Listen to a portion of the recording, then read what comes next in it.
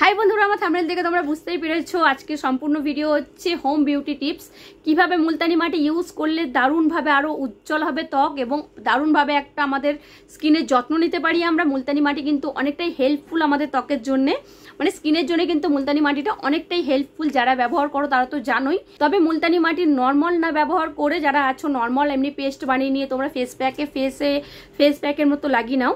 সেরকম না করে আজকের আমি বলব কোন কোন প্রবলেমের জন্য, কোন কোন স্কিনের জন্য কিরকমভাবে আর কি কি ইনগ্রিডিয়েন্টস অ্যাড করে তোমরা মুলতানি মাটিটা ইউজ করবে। তাতে আরও ভালো মানে তোমাদের সবার স্কিন তো একরকম হয় না। প্রত্যেকটা স্কিনের জন্য, প্রত্যেকটা প্রবলেমের জন্য মুলতানি মাটিকে কিরমভাবে তোমরা কাজে লাগাবে সেটাই আজকে তোমাদের সাথে শেয়ার করব।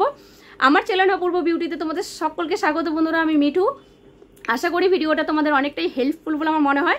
চলো শুরু করা যায় কোন কোন স্কিনের জন্য বা কীরকমভাবে তোমরা কোন কোন ইনগ্রিডিয়েন্টস দিয়ে মুলতানি মাটিটা ইউজ করতে পারো, তো চলো শুরু করা যাক।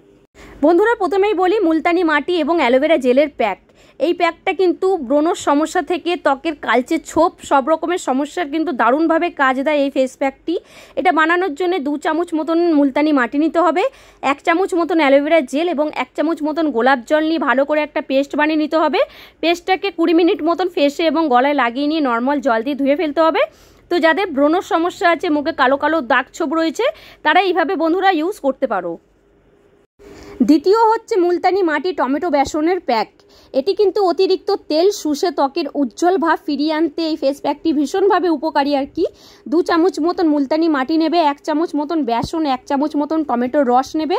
নিয়ে ভালো করে মিশিয়ে একটা মিশ্রণ বানিয়ে মুখে, গলায় ভালো করে ফেস প্যাকের মতো লাগিয়ে নিতে হবে। কুড়ি মিনিট রাখার পরে ঠান্ডা জল দিয়ে ধুয়ে ফেলতে হবে। যাদের এক্সট্রা অয়েলি স্কিন মানে ভীষণভাবে আর কি অয়েলি স্কিন অয়েল রিমুভ করার জন্য এইভাবে তোমরা ব্যবহার করতে পারো। তিন নম্বর হচ্ছে মুলতানি মাটি, শশা গোলাপ জলের প্যাক। এই প্যাকটা বানানোর জন্য শশার খোসা ছাড়িয়ে রস বার করে নিতে হবে।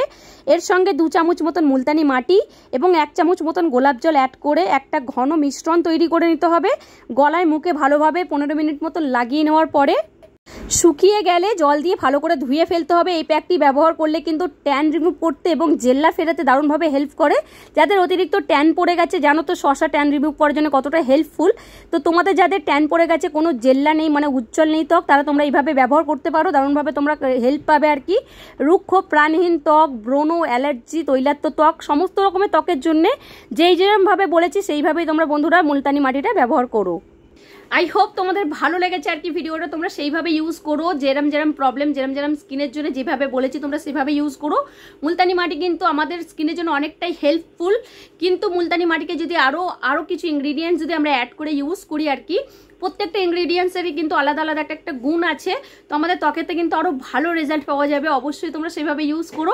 আমাকে কমেন্ট করে অবশ্যই জানিও ভিডিও কীরকম লেগেছে, তোমরা রেজাল্ট কেমন পেয়েছ। লাইক সাবস্ক্রাইব করে দিও বেল আইকনটাকে অল করে রেখো, বন্ধুদের সাথে শেয়ার করতে পারো। আজকের মতন এখানে ভিডিও শেষ করলাম। পরের বারে একটা নতুন ভিডিও নিয়ে আসছি খুব তাড়াতাড়ি। আজকের মতন, টাটা!